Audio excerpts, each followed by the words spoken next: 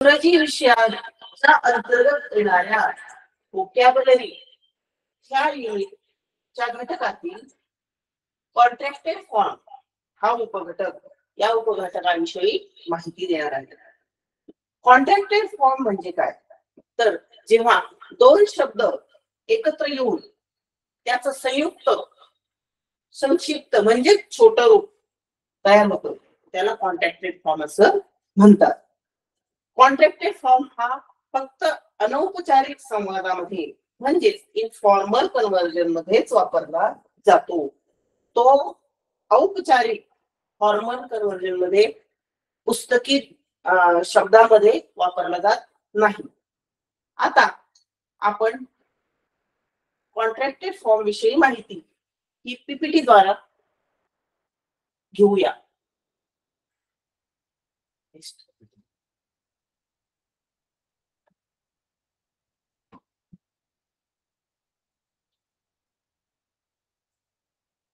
Contracted form होताना सहाय्यकारी क्रियापदाचं संक्षिप्त रूप केलं. जातं.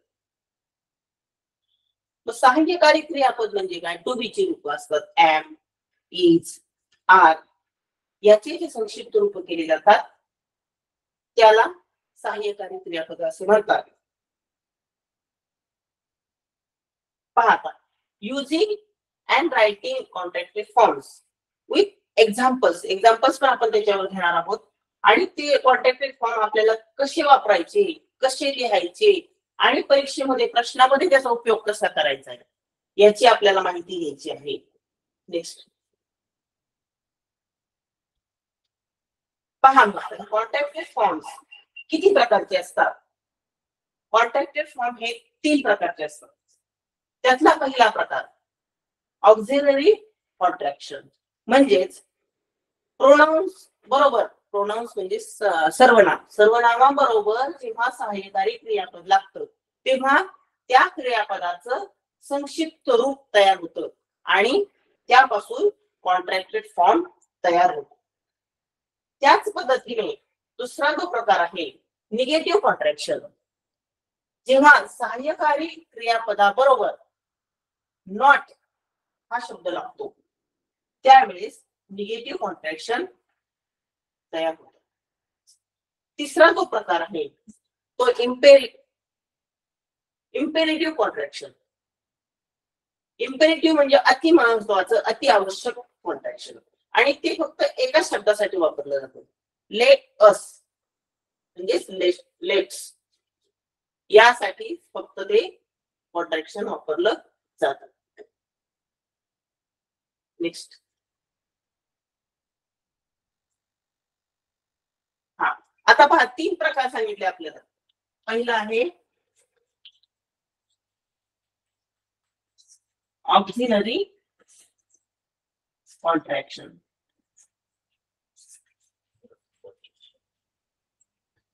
दुसरा आहे निगेटिव्ह कॉन्ट्रॅक्शन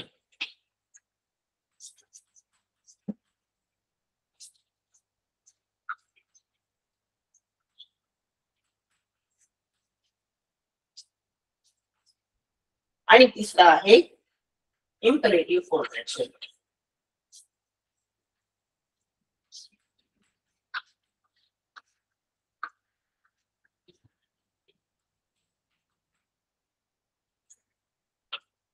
अतिशय सोपा मार्ग असतो पहा हा.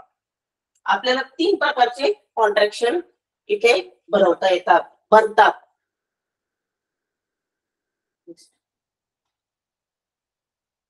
पहा आता आणि त्याला जोडून त्याला जोडून जे सहाय्यकारी क्रियापद जे येतं ऑक्सिलरी म्हणजे सहाय्यकारी क्रियापद जे येतं त्या दोन्हींचा मिळून संयोग होऊन दोन्ही शब्द एकत्र येऊन नंतर जे कॉन्ट्रॅक्शन तयार होतं त्याला आपण ऑक्सिलरी कॉन्ट्रॅक्शन असं म्हणतो.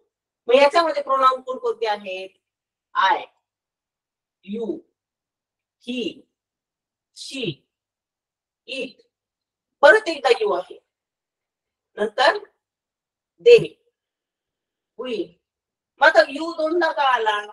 तर यू हा एक वचनामध्ये सुद्धा यू वापरतात आणि अनेक वचनामध्ये सुद्धा यू वापरतात. म्हणून हा यू दोनदा आलेला आहे. आणि अनेक वचनामध्ये सुद्धा वापरतात. म्हणून यूच्या समोर एक वचनासमोर सुद्धा आर लिहितात. अनेक वचनासमोर सुद्धा आर लिहितात. मग आता पहिलं कॉन्ट्रॅक्शन आपण पाहू.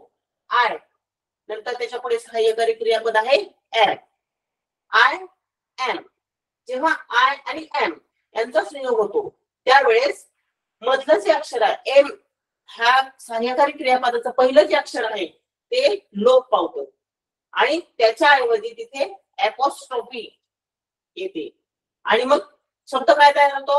आय एम आय एम दुसरा आहे यू यूच्या समोर कोणतं सहाय्यकारी क्रियापद आलंय? आर.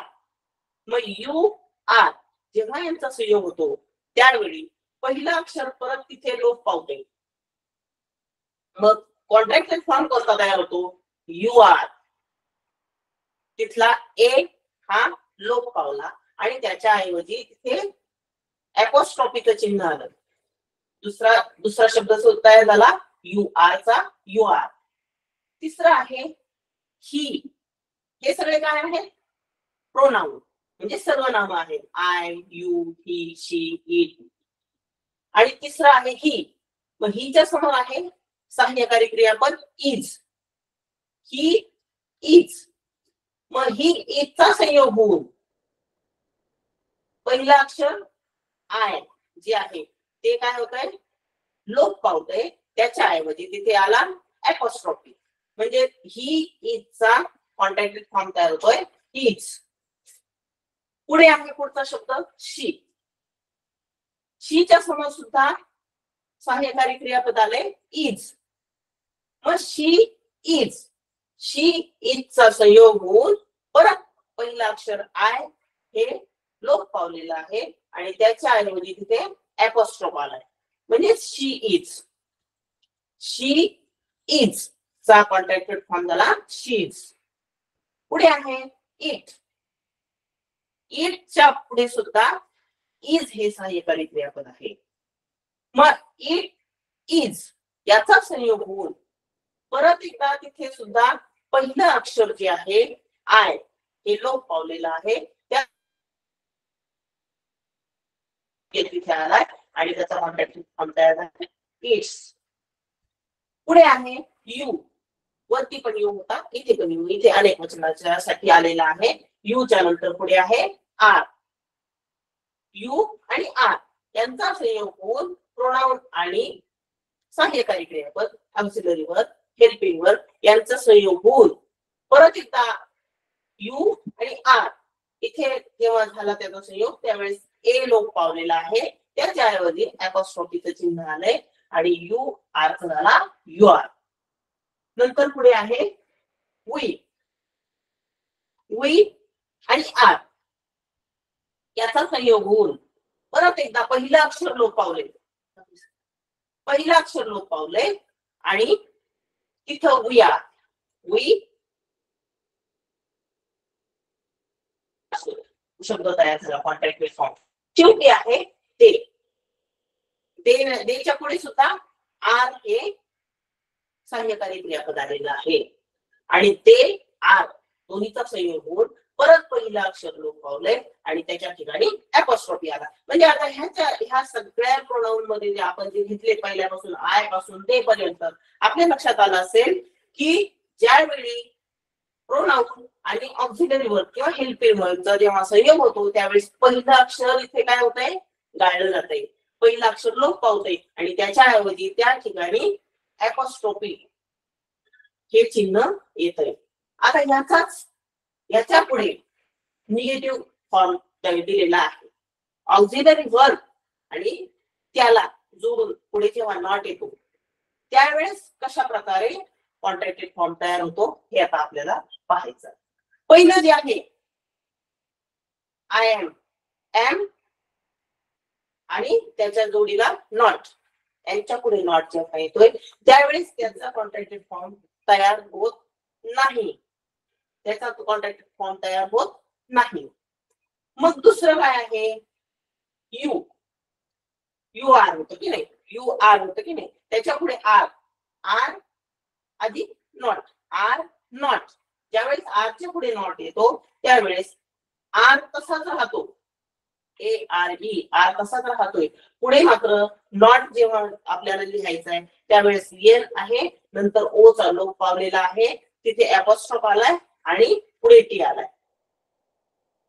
पुढे त्याच्यानंतर आहे इज नॉट हिच्या पुढे इज होता की नाही? त्याच्या पुढचा इज आणि नॉट सहाय्यकारी क्रियापद आणि त्याच्या पुढे नॉट ज्यावेळेस इज नॉट असं येतंय त्यावेळेस पण सुद्धा इज तसाच राहिलाय. इज तसाच राहिलाय. आणि पुढचं केव्हा नॉट लिहिता आपण तेव्हा यन अपॉस्ट्रॉफ टी म्हणजे इथे सुद्धा काय गेलेलं आहे? इथे सुद्धा काय लोप पावलेला आहे? ओ ओ लोप पावलेला आहे.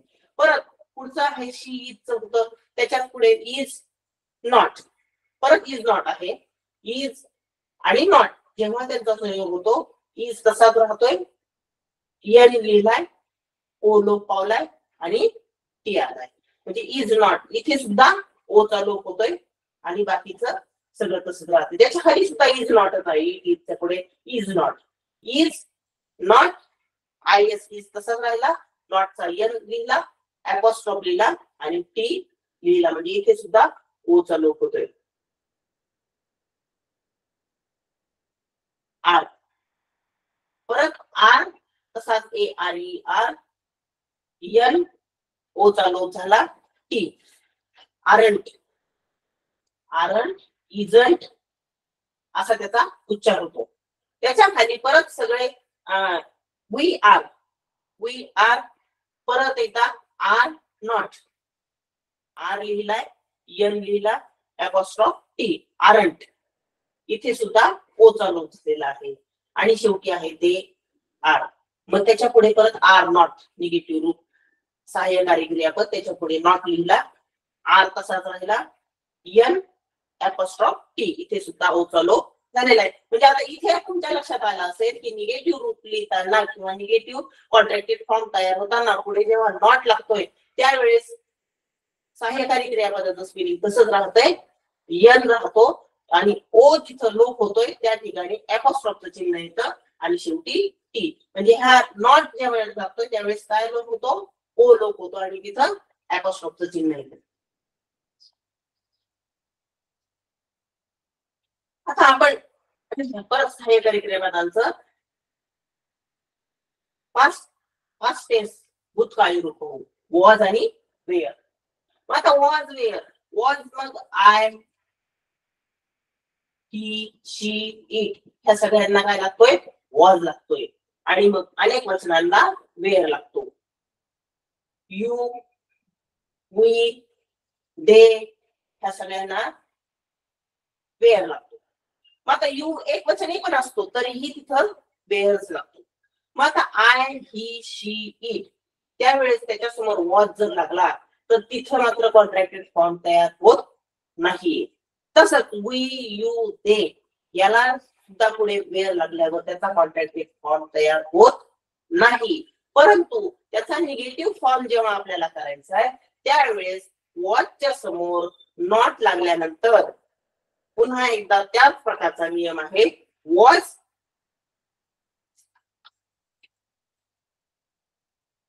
नॉट वॉज नॉट त्याचा होतो तयार. वॉजंट इथं सुद्धा काय लोक पावला? ओ लोक पावला.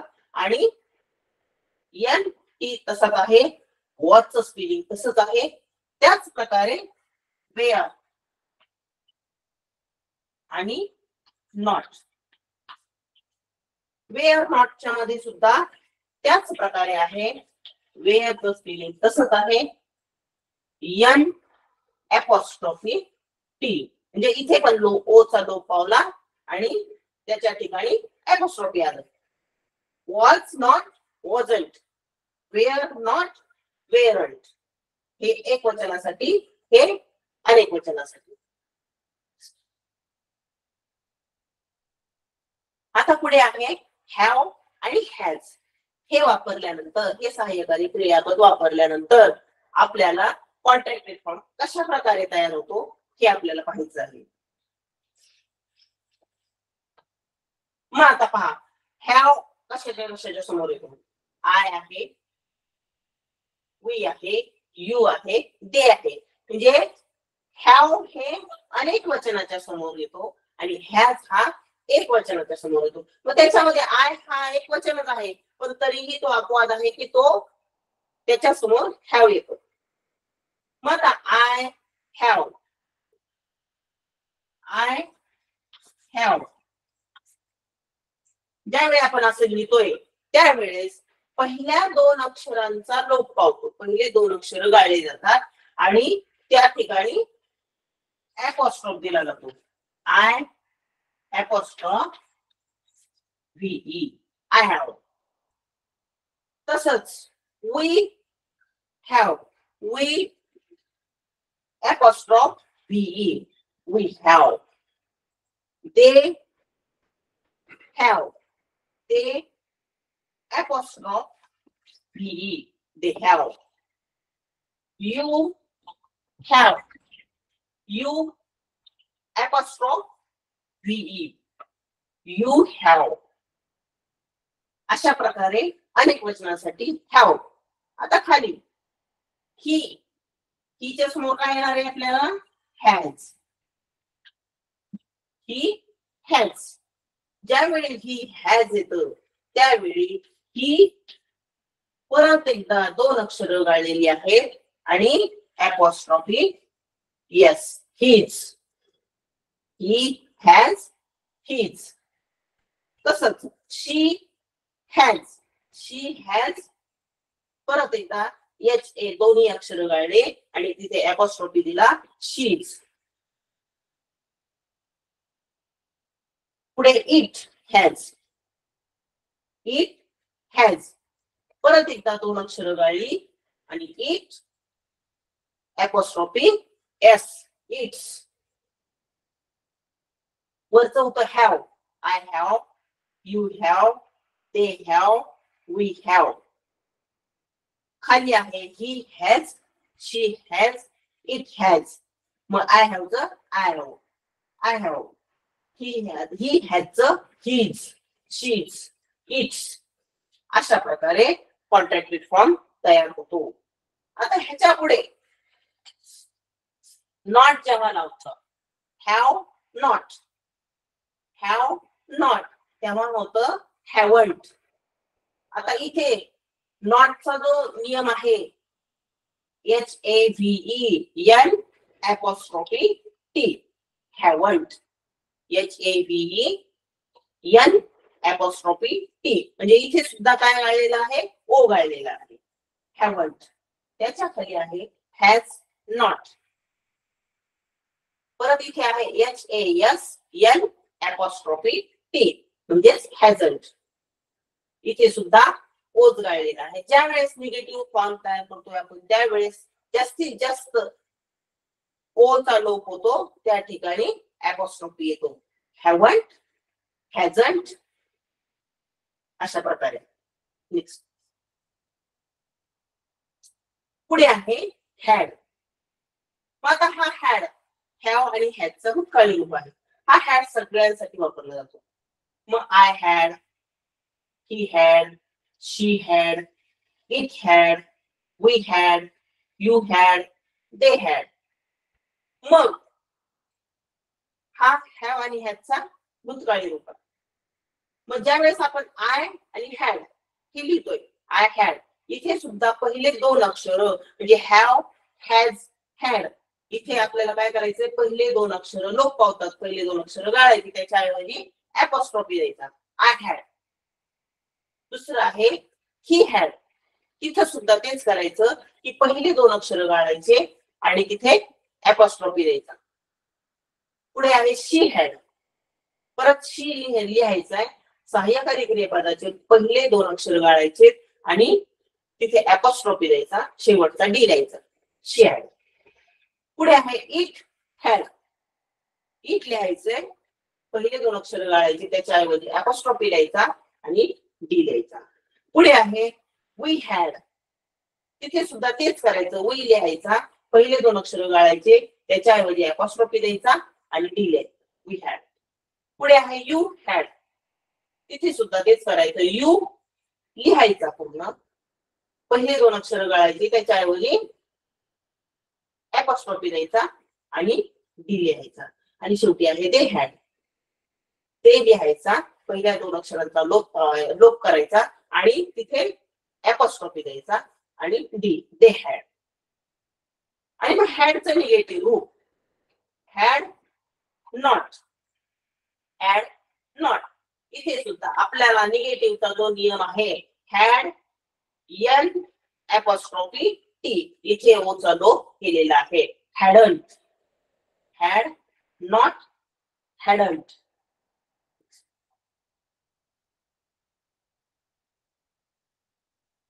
पुढे आहे डू आणि डज मग आता या डू कशा कशाला लागतो?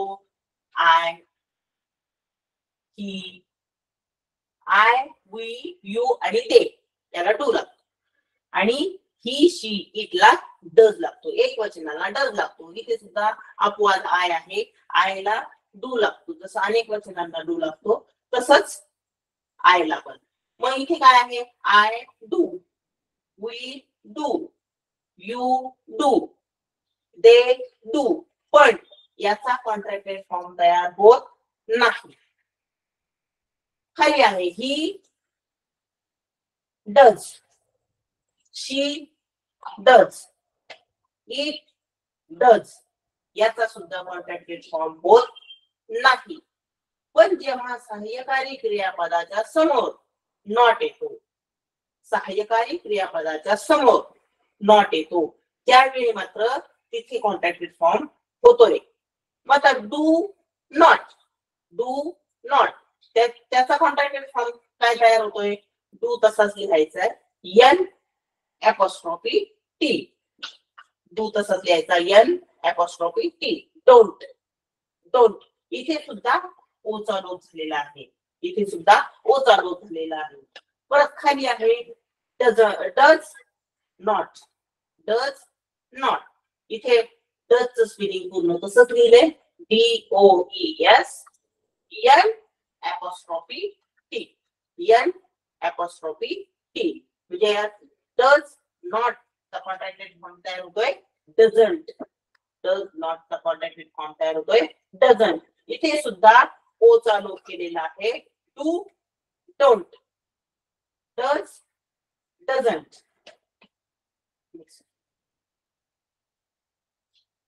आता डू आणि डज याचाच भूतकाळ आहे. डीड हा डीड सगळ्यांना लागतोय I he she it we you आणि दे ह्या सगळ्या प्रोनाऊनला ह्या सगळ्या सर्वनामांना दीड हा असं हे सह्याकारी क्रियापद लागते. मग ज्या वेळेस आपण I did he did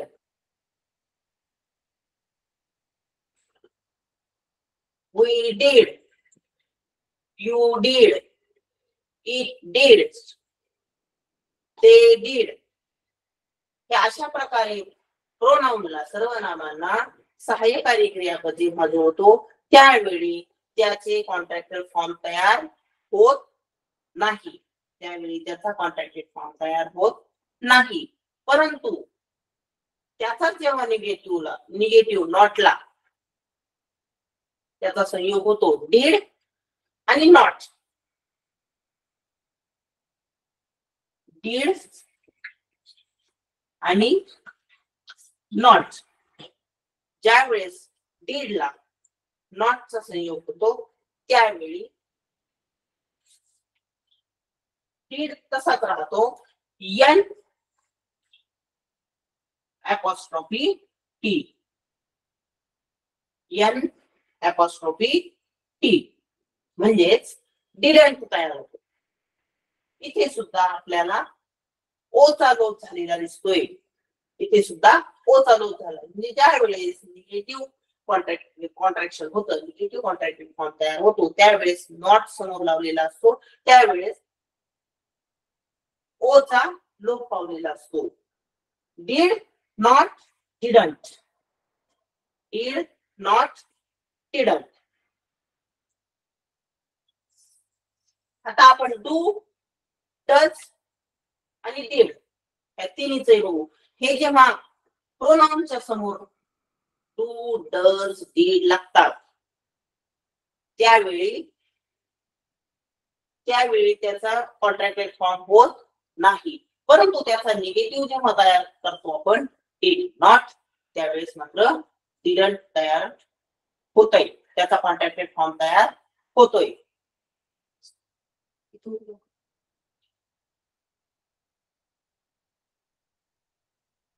पुढे आहे अफर्मेटिव्ह कॉन्ट्रॅक्टेड फॉर्म आणि निगेटिव्ह कॉन्ट्रॅक्टेड फॉर्म म्हणजे होकारार्थी कॉन्ट्रॅक्टेड फॉर्म आणि नकारार्थी कॉन्ट्रॅक्टेड फॉर्म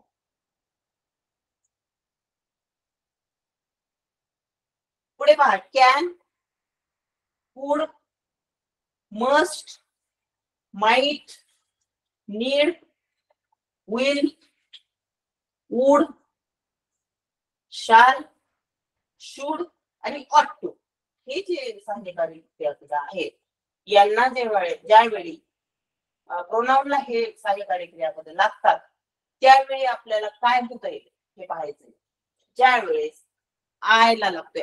आपण आयचं उदाहरण घेऊ. I can I can. त्यावेळेस त्याचा कॉन्ट्रॅक्टेड फॉर्म तयार होत नाही. पुढे आहे आय कुड. I could. त्यावेळी पण त्याचा कॉन्ट्रॅक्टेड फॉर्म तयार होत नाहीये. मग पुढे आहे आय मस्ट. I must. त्यावेळी पण त्याचा कॉन्ट्रॅक्टेड फॉर्म तयार होत नाही. त्याच्या पुढे आहे आय माइट. आय माइट त्यावेळी पण त्याचा कॉन्ट्रॅक्ट कॉन्ट्रॅक्टेड फॉर्म तयार होत नाही. मग आय नीड आय नीड त्यावेळी पण त्याचा कॉन्ट्रॅक्टेड फॉर्म तयार होत नाही. पुढे आहे आय विल आय विल इथे मात्र त्याचा कॉन्ट्रॅक्टेड फॉर्म तयार होतोय. मग काय तयार होतोय? आय आहे तसंच राहणार आहे आणि पहिल्या दोन अक्षरांचा लोप पावणार तिथे येणार अपॉस्ट्रॉफी आणि पुढे पुढचे दोन अक्षर आय विल आय विल पुढे आहे पुढचं अक्षर आहे पुढचा शब्द आहे उड आय उड ज्यावेळी आय आणि उडचा संयोग होतो त्यावेळेस त्याचा कॉन्ट्रॅक्टेड फॉर्म तयार होतोय. सगळे अक्षर लोक होत आहेत. डब्ल्यू ओ यू एल आणि नंतर शेवटी राहतंय D I I apostrophe D I'd I'd पुढे आहे शाल आय शाल आय शालचा जसा आय विलचा होतो तसंच आय शालचं कॉन्ट्रॅक्टेड फॉर्म तयार होतो.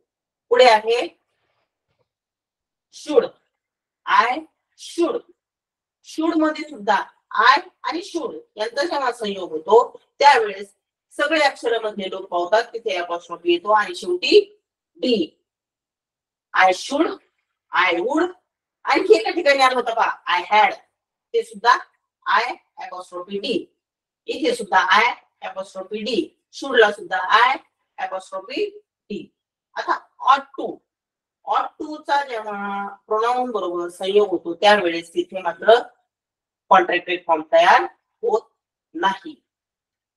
आता पुढे आहे कॅन कॅनचा कॅनच्या पुढे. त्यावेळेस ज्यावेळेस निगेटिव्ह फॉर्म नॉटला इथे मात्र आपण नॉटचा जो नियम पाहिलेला होता यनमध्ये ओ लोप होतोय आणि टी. पण कॅन नॉटला तो नियम लागत नाही. कॅन आणि नॉट ज्यावेळेस दिलेलं असतं त्यावेळेस एका यनचा पण लोप होतो आणि ओचा लोप होतो. C A N apostrophe T एका यनचा लोप होतो आणि ओ चा लोप होतो.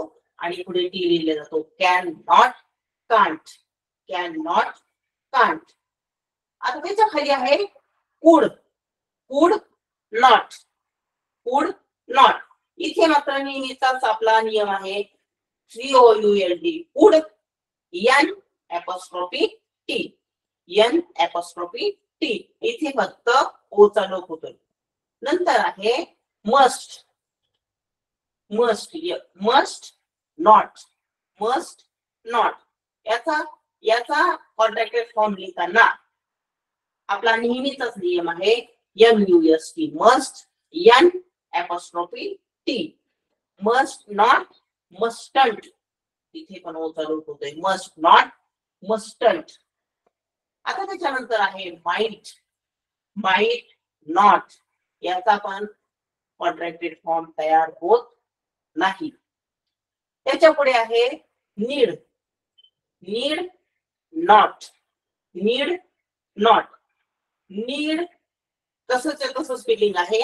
यन ओचा लोप झाला. तिथे आला ऍपॉस्टॉपी आणि T needn't need not needn't N double D N apostrophe T need not needn't आता विल नॉट विल नॉट मग आता इथं विल नॉट ज्यावेळेस येत आहे त्यावेळेस आपण जर आपला जो नियम आहे त्या नियमानुसार जर लिहिलं तर W I double L N apostrophe T असं येणार. बरोबर की नाही? पण ह्या विल नॉटला सुद्धा तो नियम लागत नाही. विल नॉट लिहिताना आपण कॉन्ट्रॅक्टेड फॉर्म लिहिताना आपण विल नॉटचा वोट करतो. W O N apostrophe T W O N apostrophe T will not won't आणि हे असे अपवादात्मक जे असतात शब्द अपवादात्मक जे कॉन्ट्रॅक्टेड फॉर्म असतात बहुधा परीक्षेला अशा प्रकारचेच कॉन्ट्रॅक्टेड फॉर्म विचारले जातात. परीक्षेला अशाच प्रकारचे कॉन्ट्रॅक्टेड फॉर्म विचारले जातात. पुढे आहे would not would not would च सुद्धा O U L D would N apostrophe T wouldn't इथे यांचा लोक केलेला आहे. पुढे आहे शाल. शाल नॉट इथे सुद्धा हा अपवाद आहे. इथे सुद्धा shall S H W N apostrophe T आपल्याला दिलेला नाही. मग शाल नॉट कॉन्ट्रॅक्टेड फॉर्म काय होतोय? Shan't S H A N apostrophe T shan't shall not शांत पुढे आहे. Or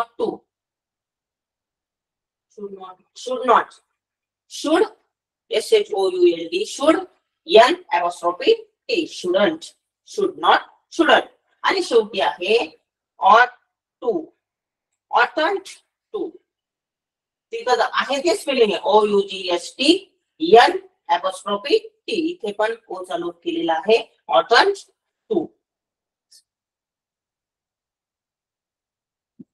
हा आता हा इम्पेरेटिव्ह हा आहे अत्यावश्यक हा एकाच शब्दाला लागतो. Let us let us N E T let U S S हा हा पण हा पण प्रश्न परीक्षेला येतो. बराच वेळा. लेट आणि अस मग लेट अस चा कॉन्ट्रॅक्ट फॉर्म काय तयार होतो? Let's N E T apostrophe. S इथे पहिलं अक्षर गाळलेलं U L E T apostrophe S let's आणि लेटस नॉट आता इथे नॉटचा नॉटमध्ये काहीही फरक केलेला नाहीये. नॉट तसाच्या तसा ठेवलाय. पण लेटस जसं आपण सुरुवातीला केलं होतं की नाही लेट अस याच्यामध्ये यू गाळला आणि तिथे apostrophe दिला.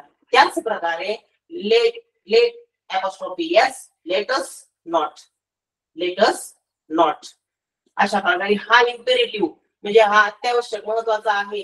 या याच्यावर पण बरेचसे प्रश्न बऱ्याच वेळा येतात.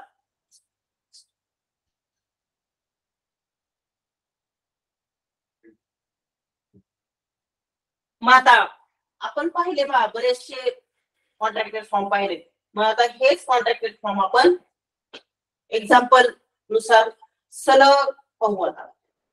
तिथं त्यांनी दिले बा example is not isn't contracted form म्हणजे आपल्या लक्षात आले की प्रोनाऊन आणि सहाय्यकारी क्रियापद यांचा जेव्हा संयोग होतो त्यावेळेस त्याचं जे संक्षिप्त रूप तयार होतं त्याला आपण कॉन्ट्रॅक्टेड फॉर्म असं म्हणतो. आता ही इंग्रजीमध्ये आपल्याला कॉन्ट्रॅक्टेड फॉर्म कधी वापरतो आपण? तर इनफॉर्मल कन्व्हर्सेशनमध्ये अनौपचारिक संवादामध्ये वापरतो.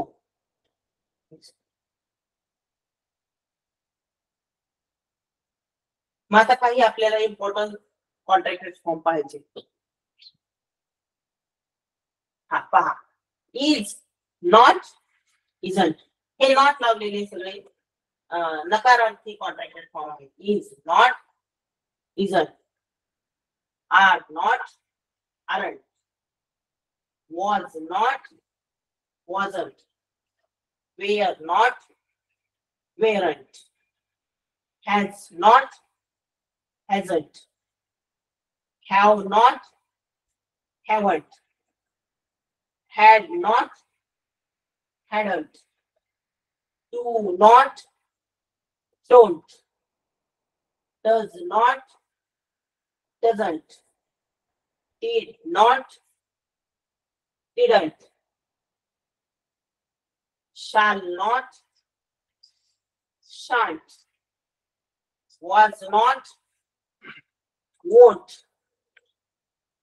Were not. Weren't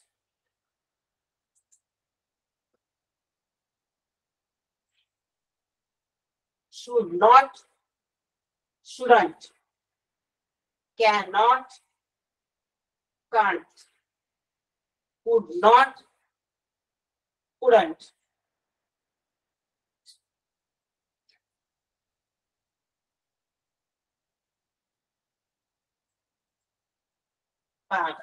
पुढे शब्द दिलेला आहे must not mustn't it is it's it is it's there is theirs there is theirs he is his he is his there is theirs there is theirs that is that's that is that's I am, I'm, I am, I'm. You are, you are. You are, you are. We have, we have. We help, we help. You are, you are. You are, you are.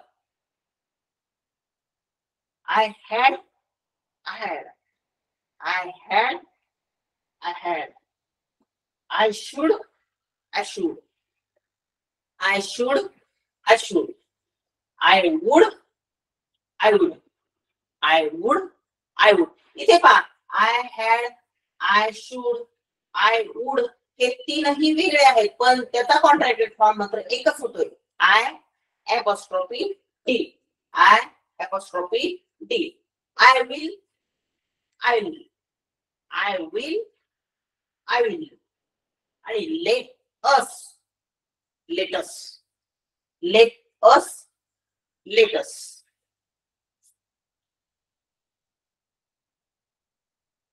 पुढे आहे. I have I have I have I have इथे पहा पहिल्या दोन अक्षरांचा लोप झालेला आहे. Have had हॅजमध्ये पहिल्या दोन अक्षरांचा लोप होतो आणि तिथे ऍपॉस्ट्रोफी येतो.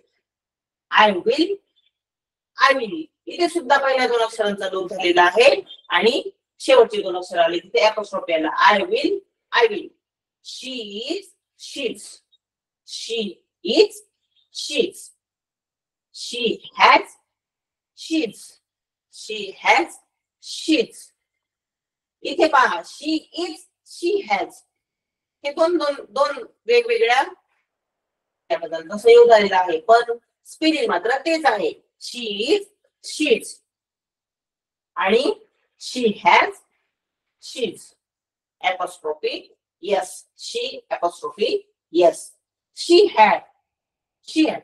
She.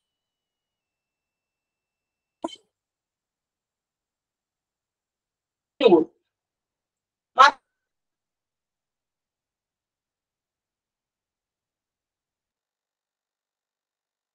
apple diary happy. Great. We are, we are, we are, we are. Okay? A चा लोप झालेला आहे फक्त. आणि बाकीचे अक्षर तसे राहिले आहेत. We have we have we have we have पुढे आहेत. ते आर ते आर ते आर ते आर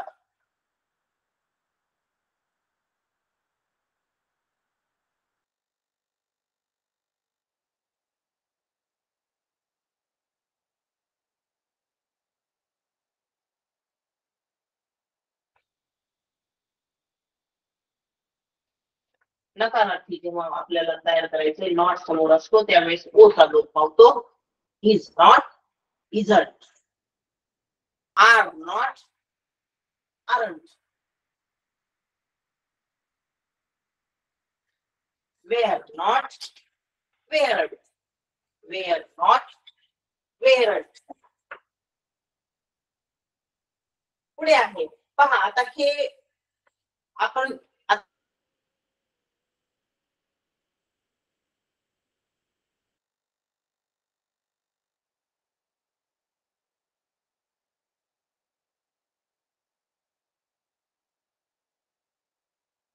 हे लागत नाही. पहा.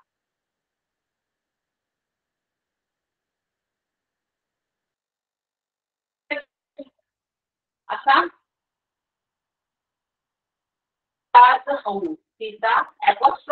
सीताच म्हणजे सीताचं घर.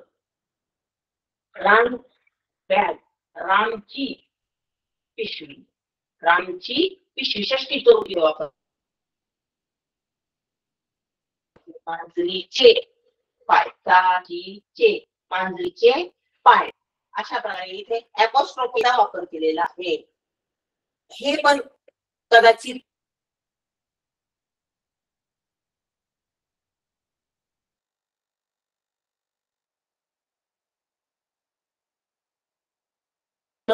अधिक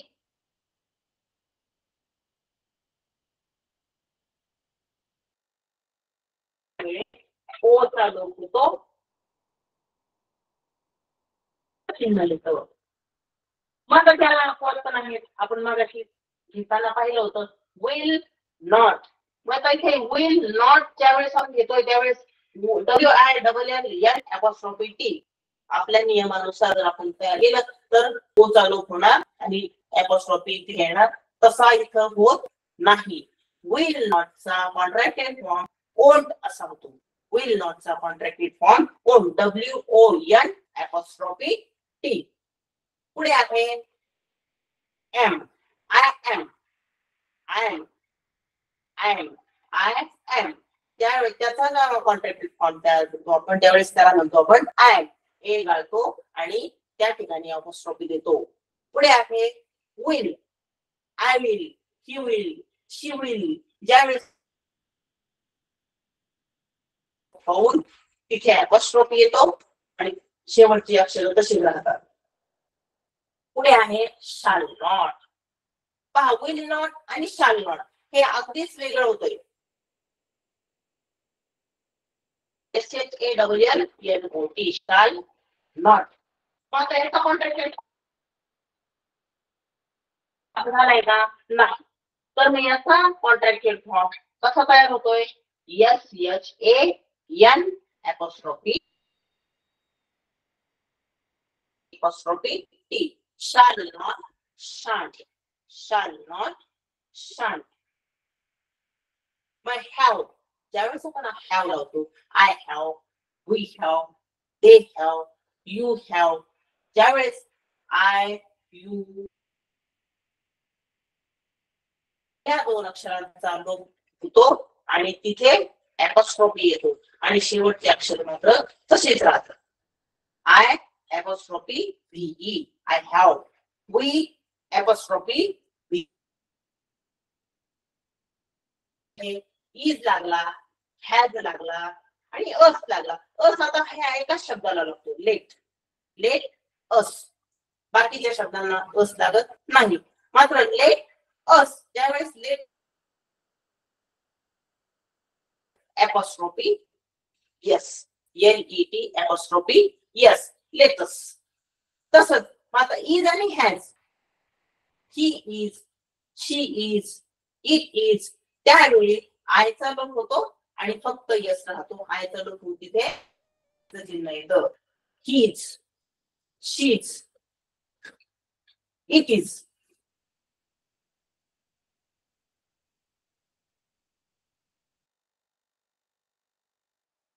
सुद्धा पहिल्या दोन अक्षरांचा लोप होतो पहा इथे हॅव हॅज हॅड ज्यावेळी आपण घेतो त्यावेळेस पहिल्या दोन अक्षरांचा लोप होतो. आणि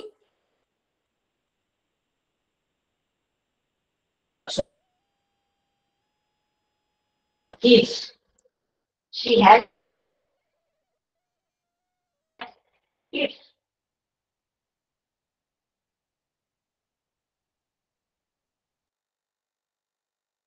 right याचा कॉन्टॅक्ट कोणता प्रश्न पाहणार. आता आपण त्या भागावरती प्रश्न पाहणार आहोत. पहिला प्रश्न आहे choose correct contracted for for तर अंडरलाईन वर्ड इथे रेड कलरमध्ये हायलाइट केलेला आहे. रेड कलरमध्ये हायलाइट केलेला आहे. Choose the correct contracted for for the underline word मग काय एक वाक्य? ज्यावेळी आपल्याला प्रश्न सोडवायचे कोणताही विषय असो मराठी गणित इंग्रजी बुद्धिमत्ता ज्यावेळी आपल्याला प्रश्न सोडवायचे त्यावेळी आपल्याला तो प्रश्न सुरुवातीपासून शेवटपर्यंत पूर्ण वाच पूर्ण वाचायचं. आणि इंग्रजीमध्ये वरती प्रश्न दिला असतो त्याचं खाली उदाहरण बराच वेळा असत असतं एक वाक्य दिलेलं असतं किंवा उदाहरण दिलेलं असतं. याच्यातून आपल्याला उत्तर शोधायची असतात. त्यामुळे पूर्ण प्रश्न वाचल्याशिवाय त्याचं पूर्ण वाक्य वाचल्याशिवाय आपण उत्तराचा पर्याय लगेच शोधायचा लगेच लिहायचा नाही. प्रश्न पूर्ण वाचणं हे फार आवश्यक आहे. मग choose the correct contacted for for the underline word I will not come with you I will not come with you म्हणजे इथे कशाचा कॉन्ट्रॅक्टेड फॉर्म पाहायचा आपल्याला? विल नॉट विल नॉट आपण आताच बघितलं होतं पाच मिनिटापूर्वी. विल नॉट हा इथे नॉटचा नियम इथे लागत नाही. हा अपवाद आहे. विल नॉटचा कॉन्ट्रॅक्टेड फॉर्म तयार होतो. वोंट मग आता आपल्याला पर्याय विल वोंट वोंट वोंट आणि विल नॉट अशा प्रकारे चार दिले मग आता कसं करायचं? की आपल्याला अपोस्ट्रॉफ कुठे द्यायचा आहे? हे मात्र माहिती पाहिजे. अपोस्ट्रॉफ कुठे द्यायचा हे मात्र माहिती पाहिजे. पहिल्या वेळेस ओट जसंच्या तसं दिलाय. तिथे अपोस्ट्रॉफ नाहीये. दुसऱ्या पर्यायामध्ये ओट दिलाय पण अपोस्ट्रॉफ सगळ्यात शेवटी दिलाय. आपल्याला सगळ्यात शेवटी अपोस्ट्रॉफ द्यायचा आहे का? नाही. मग तिसरा पर्याय आहे W O L apostrophe T मग आपण आता शिकलो होतो की W O L will नॉटचा contracted form W O L apostrophe T असा होतो. शेवटचा पर्याय तर नाहीच आहे. शेवटचा पर्याय इथे नाहीच आहे. Will W I W L L T हा जो नियमानुसार जरी असेल तरी याला तो नियम लागत नाही हा अपवाद आहे. म्हणून याचा तिसरा पर्याय हा बरोबर आहे. आता प्रश्न दुसरा. Choose the correct contracted form and feed in the blank रिकाम्या जागा भरा. भरायचं म्हणजे काय करायचं? आपल्याला पर्याय द्यायचं. पर्याय शोधायचा आहे. तो पर्याय भरायचा आहे. जे चार गोल दिलेले असतात आपल्याला त्याच्यामध्ये मग काय आहे? Hello Aman डॅडॅश go home in my car hello Aman डॅडॅश car मग आता खाली आपल्याला चार पर्याय दिलेले आहेत. प्रश्न वाचला आपण. त्याचं जे वाक्य दिलेलं आहे ते वाचलं आपण. मग आता आपल्याला चारही पर्याय वाचायचे. चारही. Apostrophe us दुसरा आहे लेट ऍपॉस्ट्रॉफी यस तिसरा आहे लेट अस ऍपॉस्ट्रॉफी आणि चौथा आहे परत लेट ऍपॉस्ट्रॉफी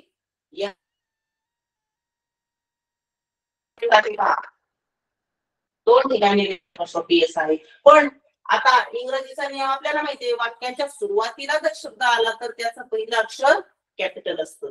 वाक्याच्या सुरुवातीला जर शब्द आला तर त्याचं पहिलं अक्षर कॅपिटल असतं. मध्ये जर असेल तर नाही.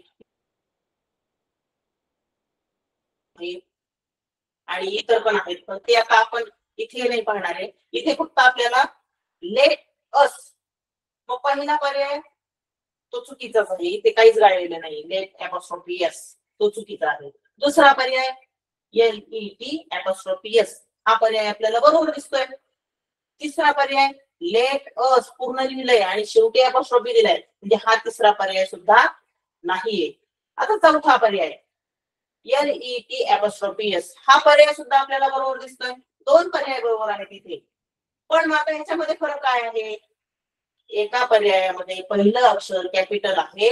एका पर्यायामध्ये पहिलं अक्षर स्मॉल लेटरमध्ये आहे. मग आता हा शब्द आपल्याला मध्ये घ्यायचा आहे. बरोबर की नाही?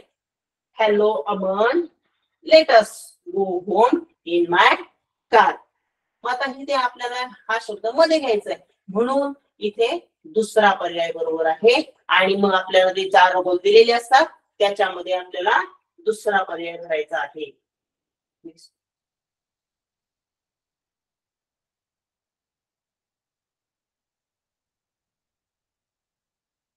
आता याच्यानंतर आपण तिसरा प्रश्न घेऊ.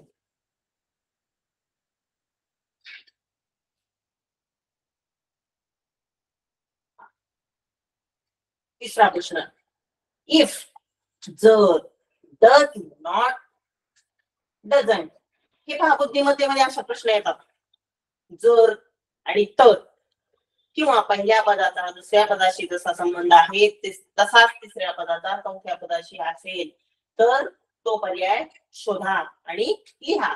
त्याच प्रकारे इथे आहे इफ डज नॉट डझंट ते जर does not is equal to doesn't. तर then तर shall not.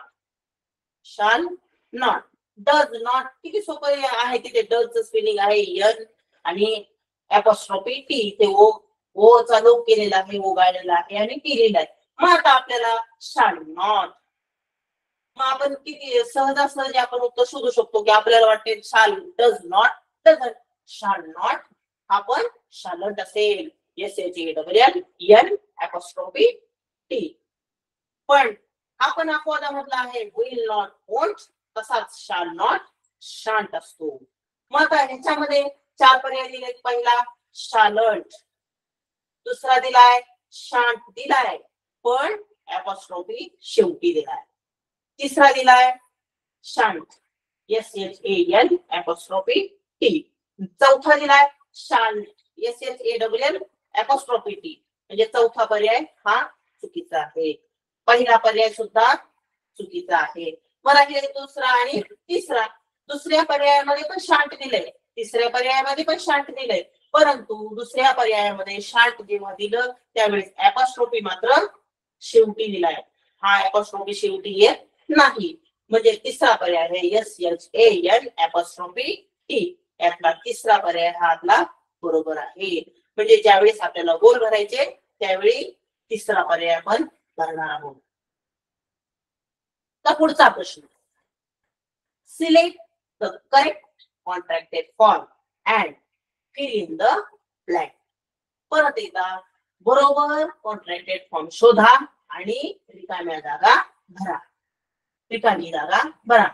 He dash like bitter ground she dash like bitter ground bitter ground म्हणजे कार्ल आपल्याला माहितीये.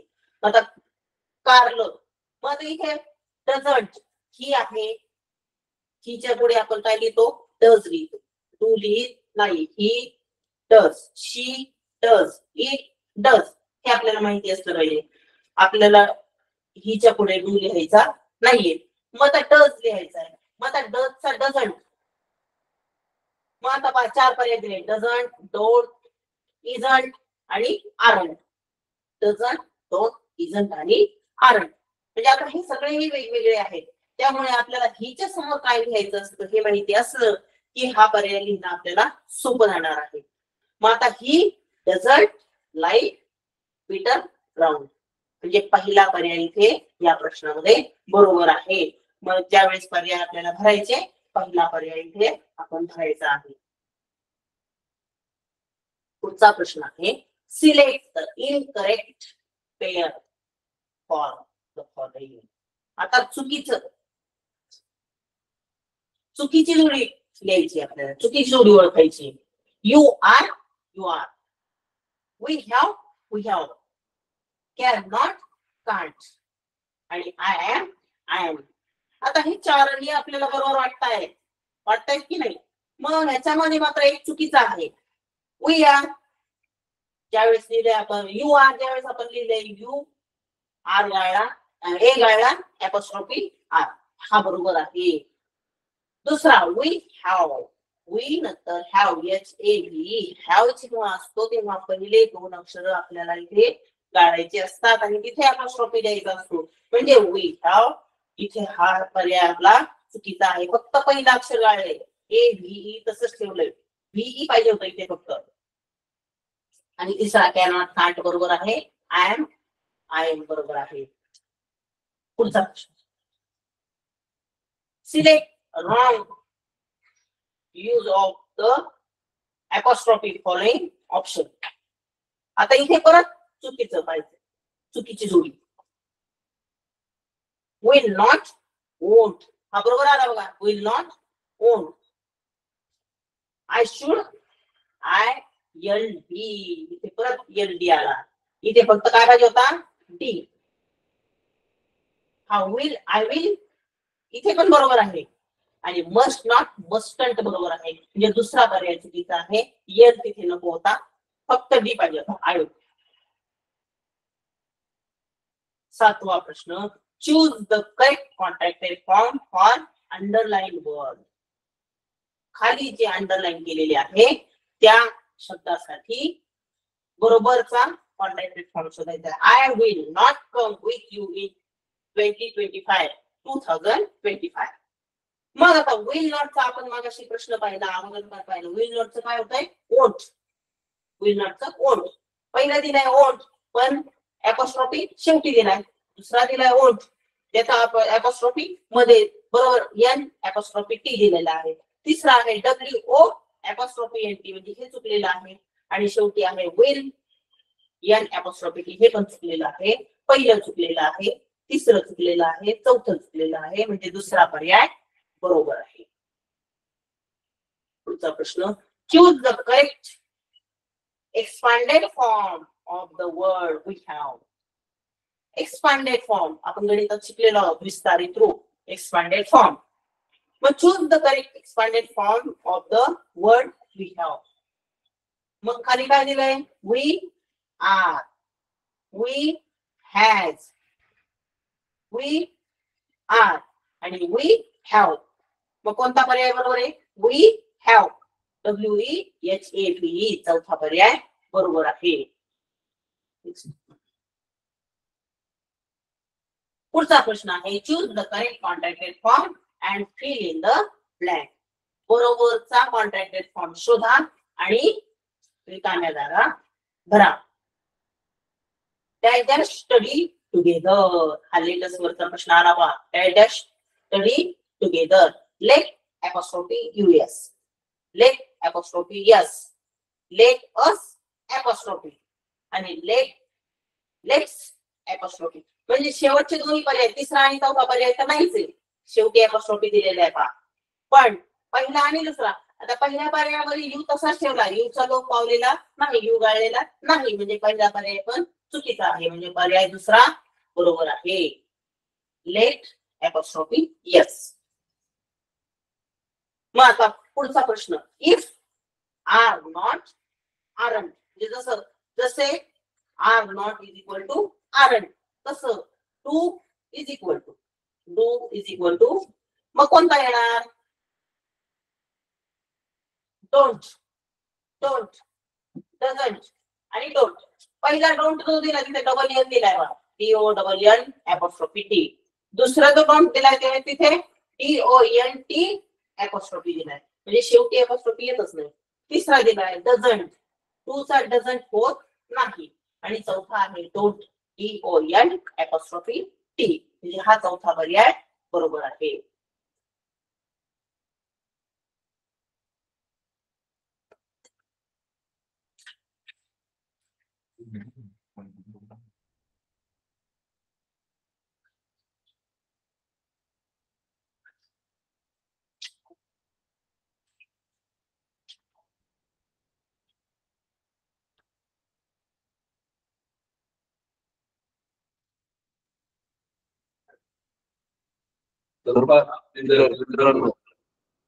आज आपल्याला जिल्हा शाळा निवडी स्कॉलरशिपचं मार्गदर्शन करणाऱ्या मनीषा देशमुख मॅडम इंग्रजी कॉन्ट्रॅक्टर फॉर्म अतिशय चांगल्या पद्धतीनं वितरणासह मार्गदर्शन केलेलं आहे. तसंच तंत्रज्ञ म्हणून Ravi sir Yogesh Pawar sir Sagar Dubey sir Pravin Shankar यांनी देखील चांगल्या पद्धतीने मदत केली आहे. मी जिल्हा परिषदेच्या वतीनं सर्वांचे आभार मानतो. आणि उद्या देखील मॅडम आपल्याला मार्गदर्शन करणार आहे सर्व विद्यार्थ्यांनी वेळेत जॉईन व्हा. तर पा पद्धतीनं आपला आजचा क्लास संपला असं मी या ठिकाणी जाहीर करतो. आणि सर्व विद्यार्थ्यांनी लेट झालं तरी चालेल. ओके.